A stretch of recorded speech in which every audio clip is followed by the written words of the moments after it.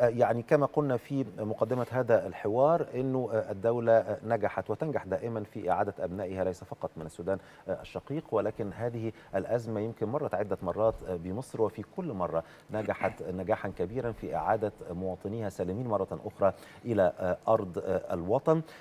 ما الذي يعكسه هذا على شعور أي مصري متواجد في أي مكان يحدث فيه نزاع مسلح؟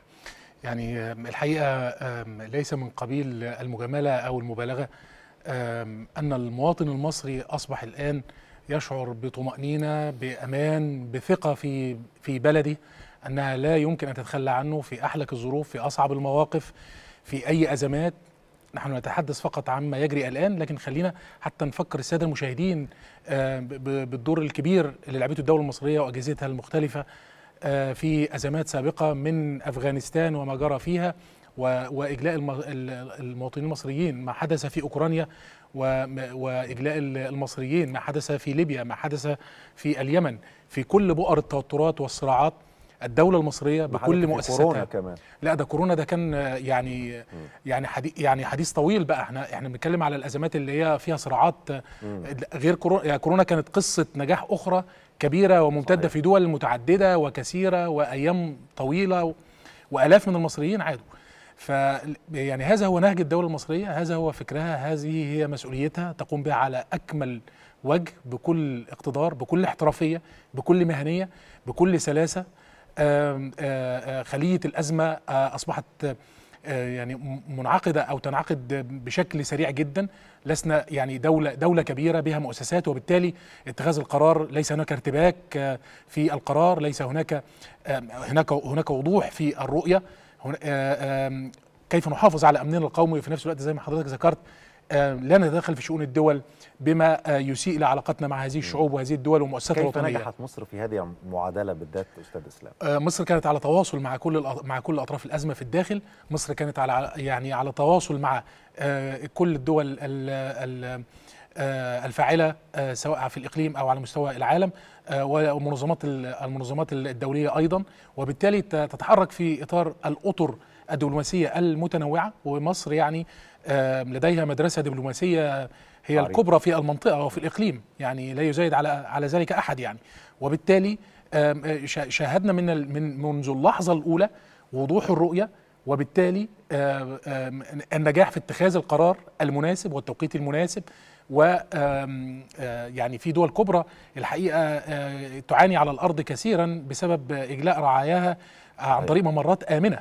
ولكن مصر بالتخطيط والتنفيذ وكل تضافر تضافر كل الجهود من المؤسسات السياديه والأمنية والقيادة السياسية اللي تتابع عن يعني لحظيا العمليات على الأرض توفير كل كل الإمكانيات المتاحة لمن يعملون على الأرض في هناك ومع السفارة المصرية وهنا بأثمن على على الدور اللي اللي بتقوم به وزارة الخارجيه على الأرض مع مع مجموعات مصرية.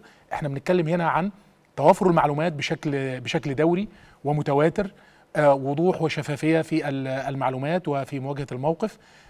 وبالتالي إحنا يعني أي شائعات أو أي شيء من هذا القبيل بيتم بيتم الرجوع لمؤسسات الدولة والاعتماد على البيانات الرسمية.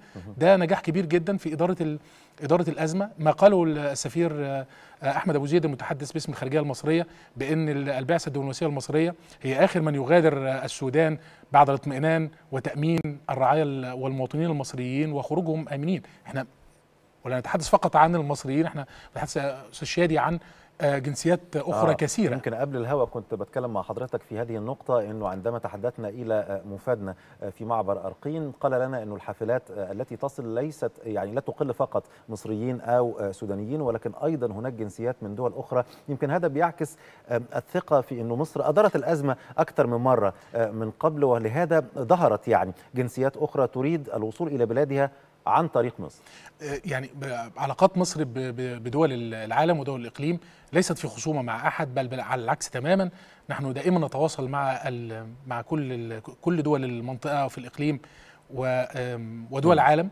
وبالتالي يتم الاعتداد الاعتداد بموقف مصر وان دول كثيرة بتركن أو تستند على مصر في آه، في إدارة الأزمة على الأرض وده حصل على مدار الساعات الماضية. شفناه آه، جيدا و- ويمكن المراسل مراسل إكسترا قال معلومات دقيقة جدا عن خروج صحيح. ما يقرب من آه، 100 أتوبيس بيقل مصريين وغير مصريين من أرقين من منفذ البري آه، واحد أيوة. بخلاف آه، القنصليات المصرية أو القنصليتين المصريتين في بورسودان وفي وادي حلفا وبالتالي آه، نحن نتعامل مع كل الدول وكل من آه، ونقدم آه، يد المساعدة والعون لأي أي آه، مواطن أي إنسان إحنا نحن شركاء في الإنسانية ونحن حريصون على يعني ألا ينزف دم على على أرض شقيقة يعني نعتز طبعاً. بها كثيرا يعني